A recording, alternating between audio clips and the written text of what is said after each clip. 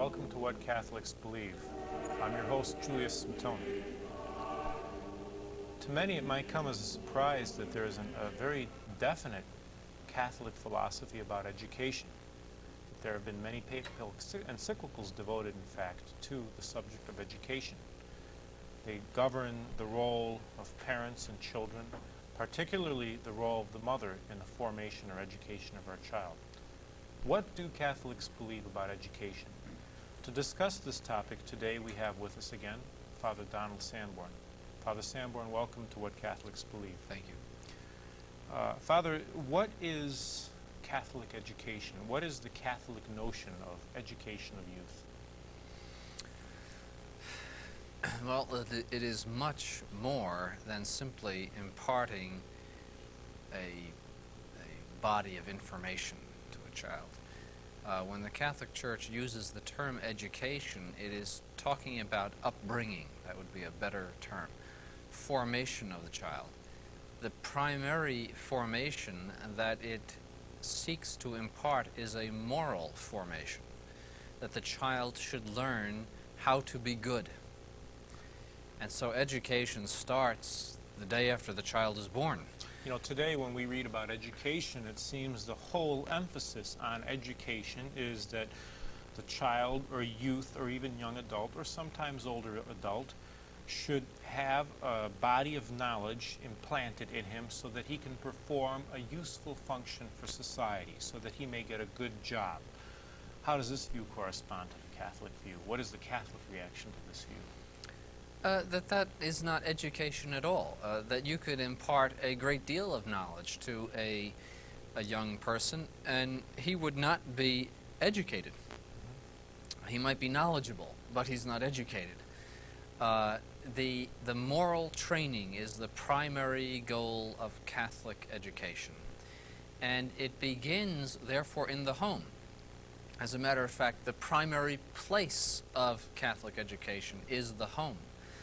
Uh, for it is there that all of the moral lessons are learned as very young children, and it is the impression given by the home life that is much more important than the impression given by any other institution.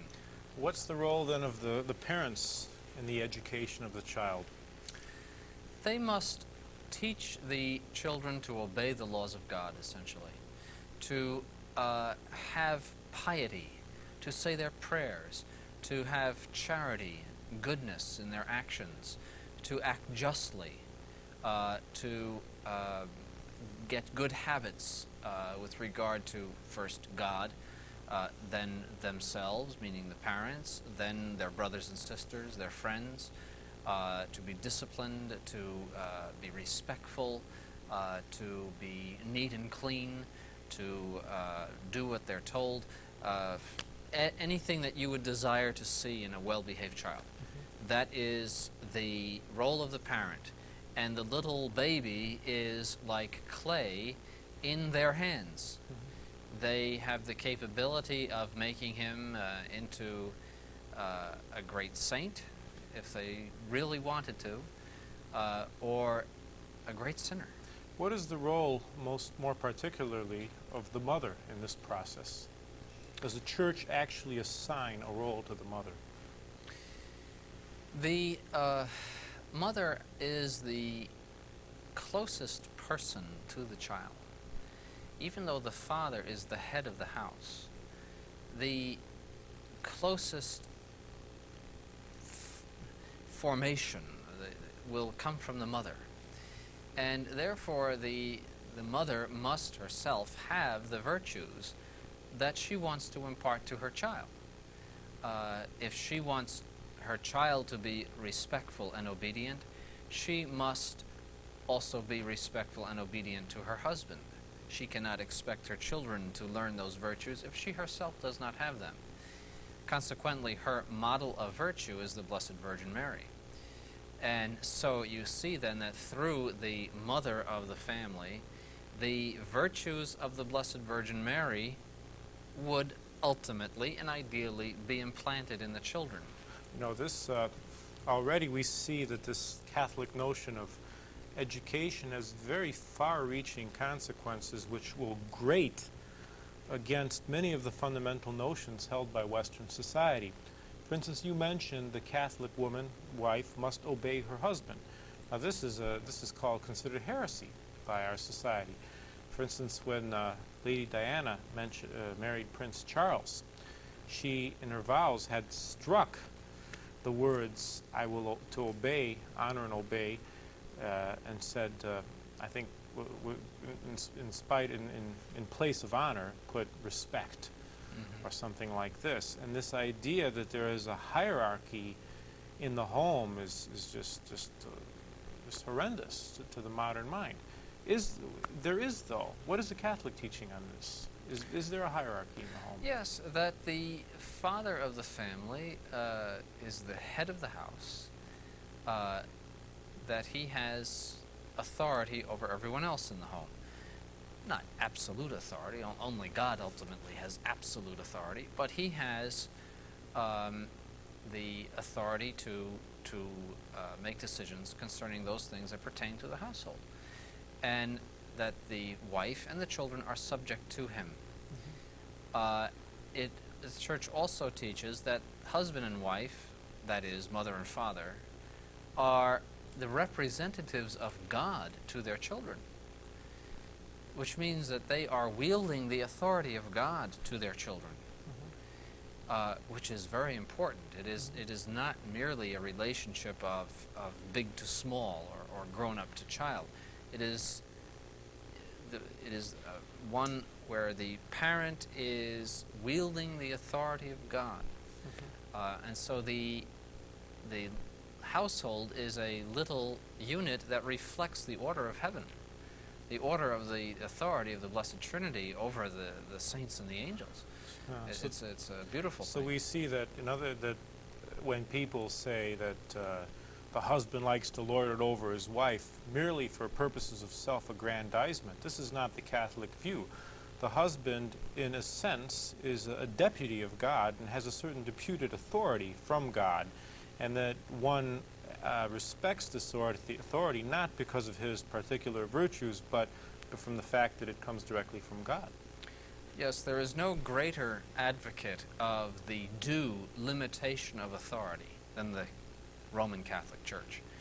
Because the Roman Catholic Church insists on the fact that all authority is ultimately answerable to God. And that it is limited by God according to the nature of, of what, what it is doing. There is no uh, possible abuse, at least in theory, of authority in the Catholic sense. Uh, it's all defined.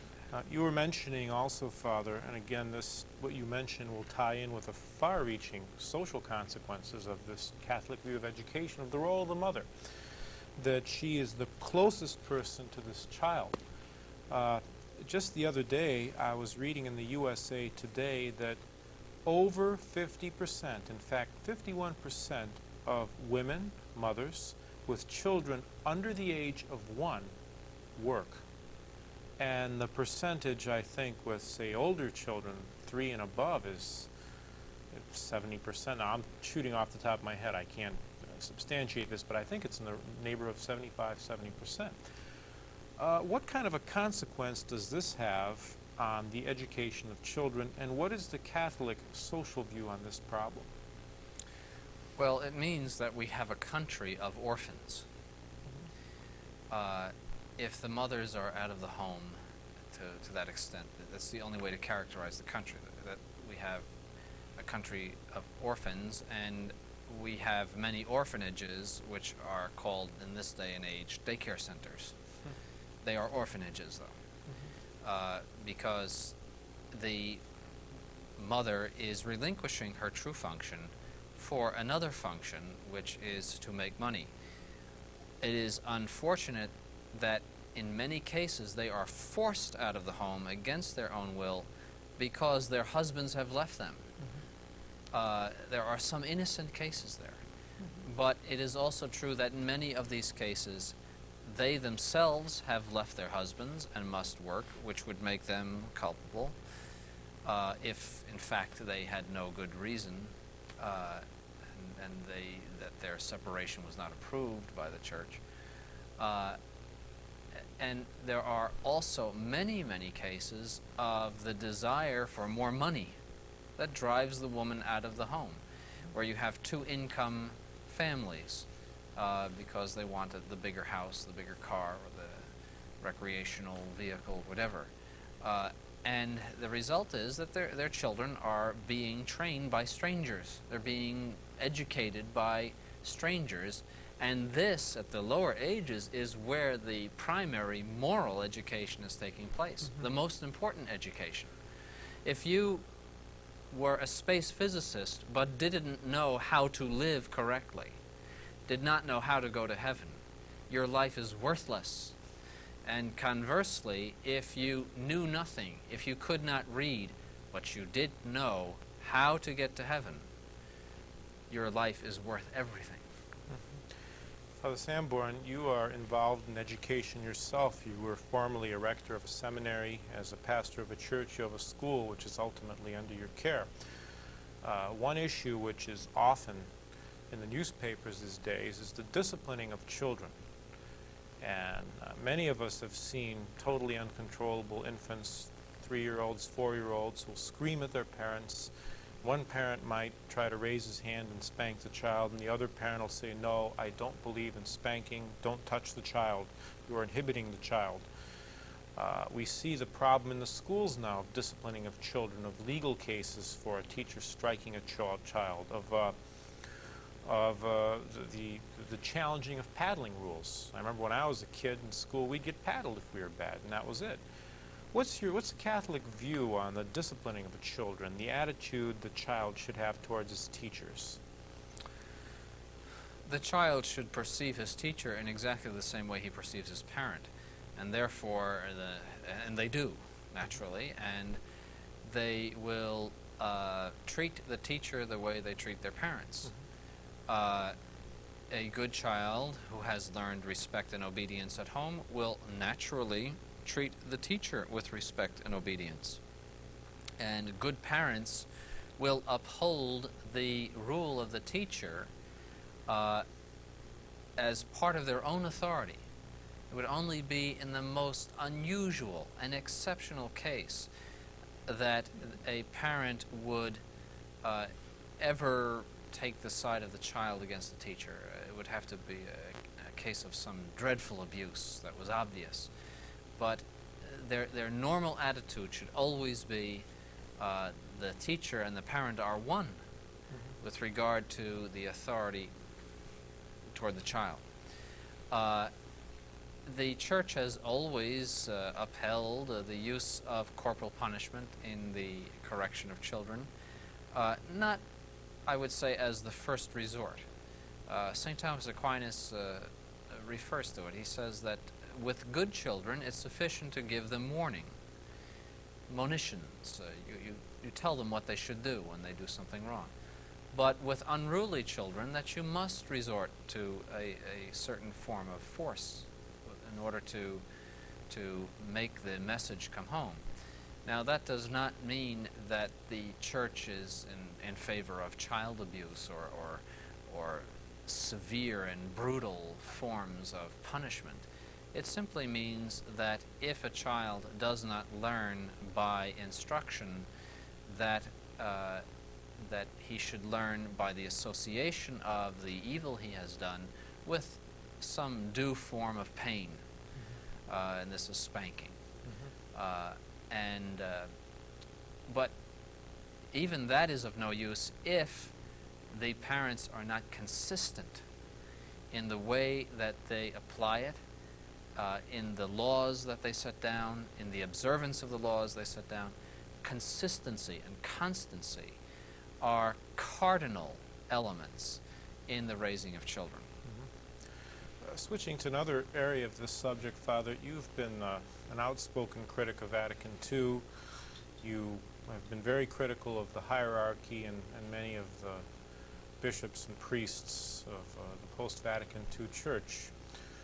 What can someone who tries to adhere to the traditions expect by, say, sending a child to a Catholic school in today's society? In the, a general Catholic school, what kind of a Catholic formation will he receive?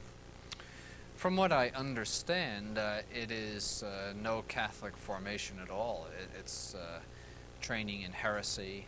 Uh, most children who go to Catholic schools come out uh, having lost the faith. Uh, I recently spoke to a young man who um, lives in Canada. he called me out of the blue and talked to me about the changes in the church and all. And, and I said to him, How did you figure out that the new religion is not the Catholic faith? And he said, Father, when I was in school, and this is an, an average, what you would call an average Catholic school, uh, I had a catechism which told me that God was a butterfly and God was a rainbow. And he said, Father, after a while, I just didn't believe in God. I said, he, he's telling me, he said, I couldn't believe that God was those things that they said. That couldn't be God. And he went like this for many years in a very confused state. And finally, in his early teens, he picked up his great grandmother's prayer book from a hundred years ago and read the ordinary of the Mass and said to himself, This is the Catholic faith. This is the religion I want to be. And has persevered in that faith ever since. Uh, this is what they're getting in Catholic schools, and this is a direct result. Thank God that he received the grace to pick up his, his grandmother's prayer book. But how many others like him think that God is a rainbow, or more precisely, identify God with the world, which is the, the message of those catechisms. Uh, it's a pantheistic idea. Does this problem extend uh, to the universities and run by Catholics and seminaries as well? Is someone like a Father Curran an anomaly, or is he more the, the, the norm? Uh, no, he is the norm. Uh, uh, it is not an exaggeration to say at all that there is a complete abandonment of the Catholic faith in Catholic universities and seminaries. That's about the only way to put it. They are loaded with heresy, dripping with heresy, uh, uh, and uh, apostasy in some cases. Uh, they, they, the Catholic faith is not found in those institutions, and this I know from speaking firsthand to people who are in them. Um, uh, the Charles Curran is just one example of many who are teaching those things and who hold those things. Uh, you mentioned the uh, Catholic schools. What about the public schools as we see them in the United States? What could a Catholic parent expect to happen to his child if he sends them to the public schools? And what is your view about the state of education in public schools, the average public school?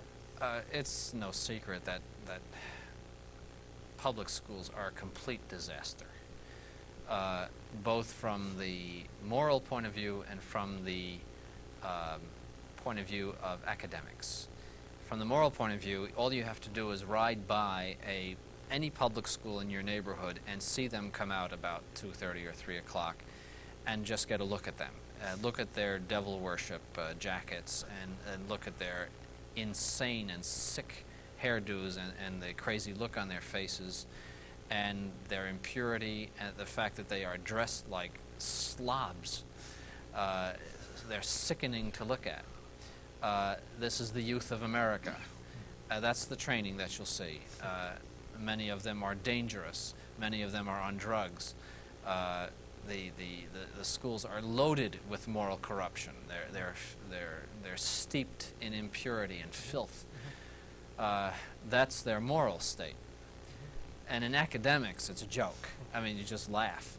Uh, I recently read that 17% uh, of this year's um, graduates could not read their high school diplomas.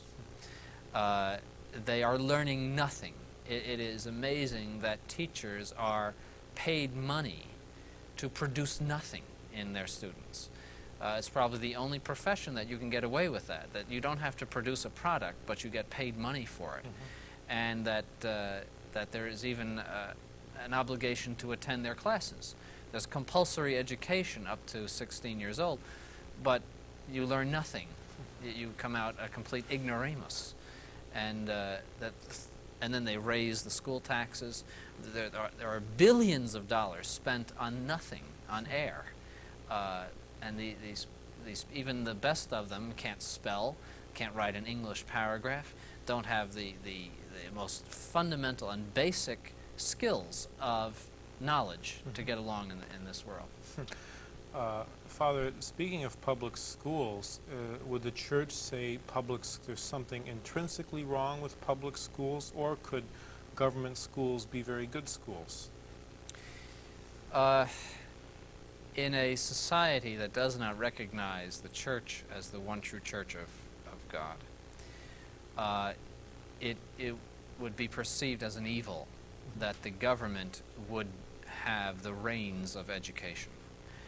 It pertains to primarily the parents to educate their children, and then to the church to aid the parents in the education of their children. So the institutions of education, therefore, should belong to the Catholic Church.